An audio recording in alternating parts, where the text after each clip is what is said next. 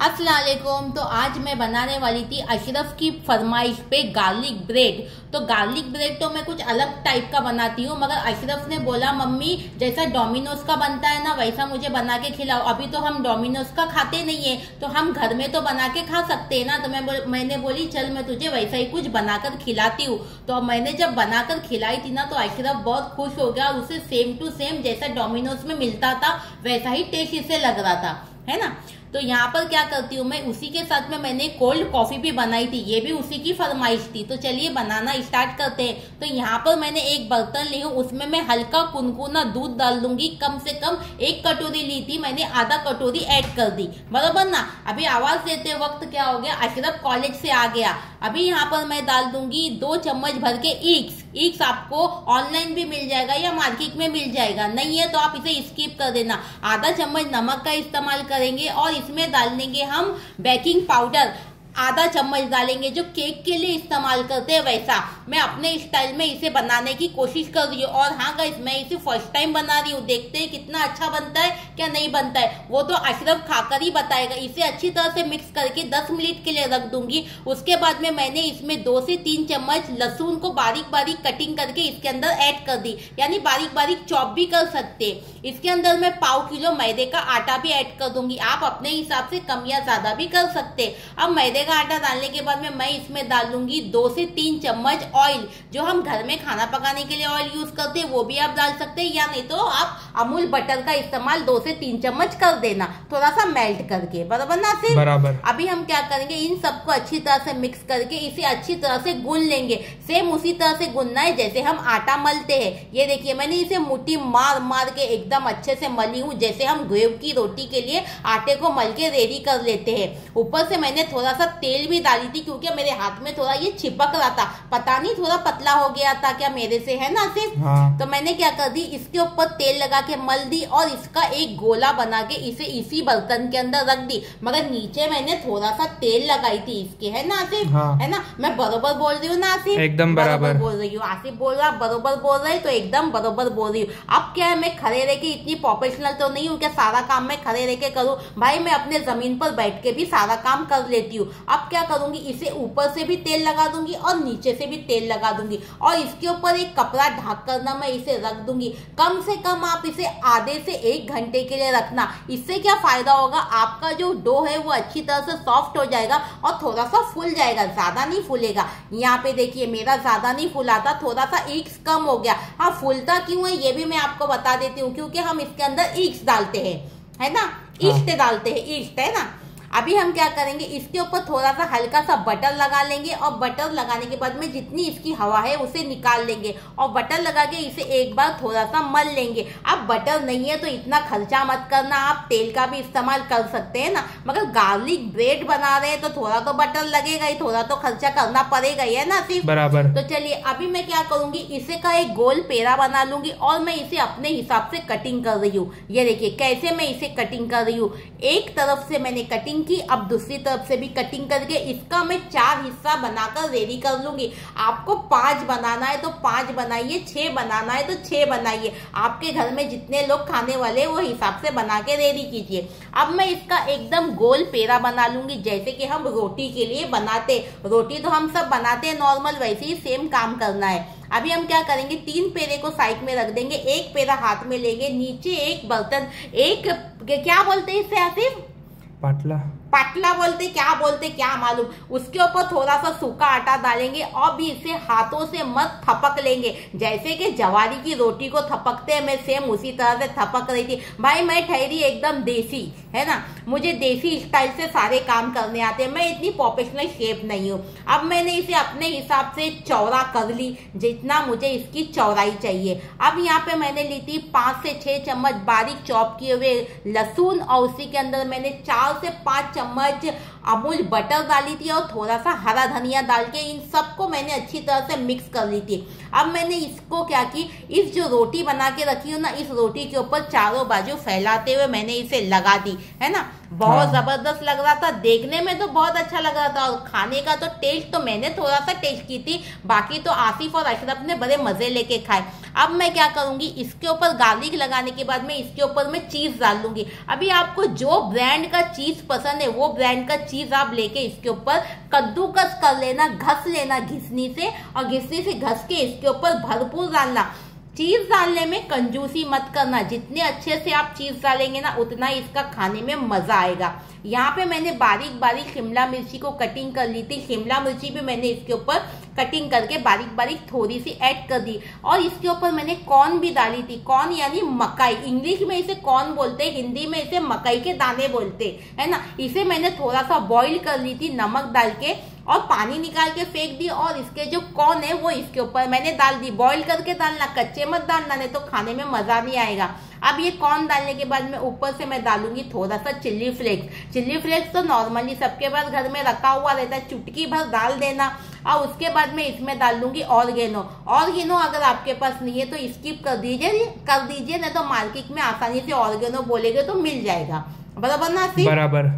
तो चलिए अब ये सारी चीज़ें डालने के बाद में मैं क्या करूँगी इसे पलट दूँगी। पहली बार बनाई तो थोड़ा सा मेरे से फट गया था फिर भी मैंने अपनी हिम्मत को हारी नहीं। मैं बोली चाहे फटो या कुछ भी हो मुझे तो अशरफ को बनाकर खिलाना है और मुझे भी ट्राई करना है क्या देखना था मुझे कि ये कैसा बनता है। तो ये देखिए थोड़ा सा फट गया मगर मैंने क्या कि इसके ऊपर गार्लिक गार्लिक को ऑफ़िस से मैंने लगा दी।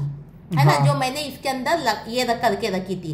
हरा धनिया गार्लिक बटर ये जो मिक्स करके रखी थी, इन सबको मैंने इसके ऊपर लगा दी। अब लगाने के बाद में एक चाकू की मदद से इसके ऊपर सेम हमें दिखना चाहिए ना मार्केट वाला गार्लिक ब्रेड तो इसके ऊपर चाकू से हल्की हल्के से ऐसे लाइन दे देनी है। ज़्यादा दबा के मत देना ना तो फट जाएगा। मेरे से फटने लगा था, है ना? पर हल्के हल्के हाथों से इसके ऊपर ऐसे चाकू की मदद से ये कर देना। अब ये वाली चाकू है ना सिर्फ़ शो के लिए काम आती है। धार की तो कुछ भी काम की नहीं है। धार वाली चाकू थी हमारी जो वही होती है ना जर्मन की हाँ। वो ही रहती है अच्छी वाली। अब एक नॉर्मल सी प्लेट ले लेना ले लेना जो घर में है। अभी ये क्या करेंगे इसके ऊपर एक बटर पेपर रख देंगे। बटर पेपर के ऊपर थोड़ा सा बटर लगा देना। अब ब्रश से घुमाते हुए ब्रश नहीं है तो चम्मच का भी यूज़ कर सकते। अब इसे काफ़ी आराम से उठा के मैं इसके ऊपर रख दूँगी। अब ये क्या हो गया? उठाने में मुझे थोड़ा जमरा नहीं था। अब उठाने में ये पहले ही खुला हुआ था और थोड़ा सा खुल गया। मैं बोली, चलो, कोई बात नहीं, फिर भी हम इसे बना लेंगे।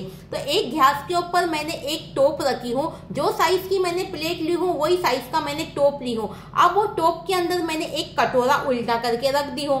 अभी उसके ऊपर ये वाली जो प्लेट है, मैं ये रख दूँगी और गैस को मैं मीडियम पे कम से कम इसे मीडियम पे मैं 10 से 15 मिनट तक का पकाऊँगी। बीच में आप चेक कर लेना 10 से 15 मिनट में भी ये पका नहीं था। इसे कम से कम पकने के लिए एक घंटे से ज़्यादा लग गया। हाँ, बराबर ना? बराबर। एकदम स्लो पे पकता है ये। अगर आपके पास में अवन है तो अवन में भी पका सकते हैं। तो अवन में पकाने का भी तरीका आपको बताती हूँ। अब ये अवन की क्रे के ऊपर मैंने सेम बटर पेपर लगाई और उसके ऊपर थोड़ा सा बटर लगा दी और उसके ऊपर मैंने ये गार्लिक ब्रेक रख दी। अब डाल दी इसे अवन के अंदर। अवन में डालने के बाद में आसिफ मैंने कितना रखी थी? ये डेढ़ सौ सेल्सियस पे आधे घंटे के लिए दोनों रोड चालू करके रखे थे। हाँ। बीच बीच में मैं थोड़ा डर रही थी, कहीं मेरा गार्लिक ब्रेड ये अवन में जल ना जाए। इसीलिए मैंने दो से तीन बार अवन को खोल कर भी देखी। आसिफ मुझे चिल्ला रहा था, मम्मी, अवन को चालू में खोलो मत करंट आ जाएगा। मैं करंट से बहुत डरती हूँ। ये अवन वाला तो रेडी हो गया। अवन वाला मैं आपको निकाल के बताती हूँ। और यहाँ पे देखिए, जो मैंने तो चाकू से डिज़ाइन की थी, उसके ऊपर मैंने गहरी डिज़ाइन और कर दी। यानी खाने के समय ये अच्छी तरह से टूट जाए। अब जैसा भी मुझे पकाने आया, मैंने वैसा पका के अशरफ को दी। और हाँ बहुत ही अच्छा बना था। आप लोग भी इस रेसिपी को ज़रूर बनाना। आप लोग एक बार बनाएँगे तो आपको पता चलेगा कि ये खाने में कितना टेस्टी बना था। तो यहाँ पे बहुत ही गर्म था, फिर भी मैं मेरे को इतनी घाई है ना कि कोई चीज़ फ़र्स्ट टाइम बनाती हूँ ना तो उसे तोड़ के देखने की बहुत घाई रहती है अच्छा बनाए क्या नहीं बना। तो गरम गरम ही मैं तोड़ रही थी माशा अल्लाह ये देखिए, इसका चीज़ तो पूछो ही मत। और इतना क्रिस्पी बनाता और टेस्टी बनाता। माना कि गार्लिक ब्रिक ज़्यादा क्रिस्पी नहीं होता है मगर मेरे से क्रिस्पी हो गया था। मगर खाने में बहुत अच्छा लग रहा था है ना सिर्फ़ हाँ, एक नंबर तो थोड़ा सा मैंने यहाँ पे खा के देखी मुझे तो मैदा खाना मना है। मगर क्या करे जब बनाए तो मैंने थोड़ा सा खा ली। मेरे डॉक्टर ने तो बोला है मुझे कैसा थोड़ा बहुत आप महीने में एक आधा बार खा सकते। मगर मैं ज़्यादा परहेज करती हूँ। उसके बाद में अशरफ आ गया तो मैंने अशरफ को बोली चल पहले तो थोड़ा सा मुझे खाकर बता कैसे बनाए? तो यहाँ पे टमाटो केचप के साथ खिला रही थी तो अशरफ बोला नहीं मम्मी मुझे ऐसे ही खिलाओ। तो मैं बोली चल तेरे को ऐसे ही खिला देती हूँ। अशरफ को बहुत पसंद आया और अशरफ बहुत खुश हो गया। है ना आसिफ हाँ। तो उसके बाद में फिर जो ये हमने जो टोप में बनाए थे वो भी बहुत ज़बरदस्त बना था। ये देखिए थोड़ा शेप आरा तेरा दिख रहा है मगर टेंशन मत लेना खाने में कोई फ़र्क नहीं था। बरोबर ना अशरफ हाँ। तो चलिए अभी इसे भी मैं क्या करूँगी? इसी तरह से चाकू की मदद से जो मैंने लाइन मारी थी उस लाइन के ऊपर से इसे कटिंग कर लेना है। है ना?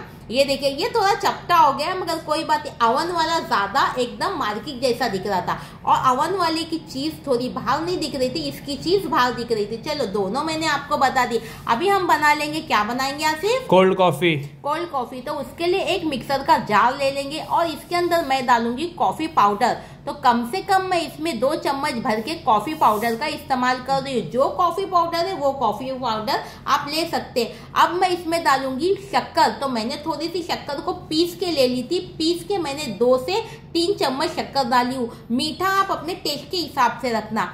अब शक्कर डालने के बाद में हमें क्या करना है? इसके अंदर मैं डाल दूँगी दूध। तो एक गिलास भर के मैं दूध डाल रही हूँ। कच्चे दूध का इस्तेमाल करना है, बिल्कुल भी गर्म दूध का इस्तेमाल नहीं करना है। हाँ दूध को जब आप मार्केट से लेके आएँगे तो इसे फ्रिज में रख देना कि ये अच्छी तरह से चिल्ड और ठंडा हो जाए। एक गिलास दूध ठंडा ठंडा मैंने इसके अंदर डाली। अब मैं इसके अंदर डाल दूँगी वेनिला एक्सट्रीम। तो वेनिला एक्सिम जो छोटा वाला कप मिलता है ना पाँच रुपए का या दस दस रुपए। का दस रुपए का वो एक कप हम इसके अंदर डाल देंगे अब हम ढक्कन को बंद करेंगे और इसे अच्छी तरह से पीस लेंगे। एकदम अच्छे से पीस लेना। अब क्या करेंगे? यहाँ पर मैंने ली हूँ एक गिलास। गिलास को मैं चॉकलेट सिरप से थोड़ा सा गार्निशिंग कर रही हूँ। क्या कर रही हूँ हाँ गार्निशिंग। गार्निशिंग कर रही हूँ। मुझे बोलना नहीं आता है मगर आप लोगों को समझ में आता है ना तो इतनी यही बात की काफ़ी खुशी हो जाती है मुझे। अब इसके ऊपर मैंने डाल दी मेरी कोल्ड कॉफ़ी। कोल्ड कॉफ़ी के ऊपर मैं डाल दूँगी इसके अंदर वेनिला एक्सिम।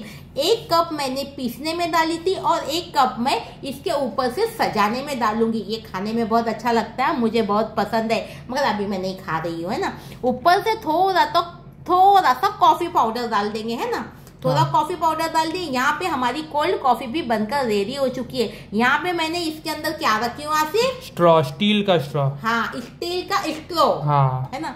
अभी हम क्या करेंगे? ये भी मैं अभी अशरफ को पिलाऊँगी। अशरफ की तो चांदी है मम्मी की रेसिपी भी बन जाती है और अशरफ की फरमाइश भी पूरी हो जाती है। अशरफ का तो मज़े है मज़े है ना अशरफ? हाँ। है ना? तो चलिए यहाँ पे मेरा काम खत्म हो गया। दूसरा गिलास भी मैं बना के आसिफ को दे दूँगी। तो कैसी लगी आप लोगों को अफरोज आपा की रेसिपी मुझे कमेंट में ज़रूर बताना।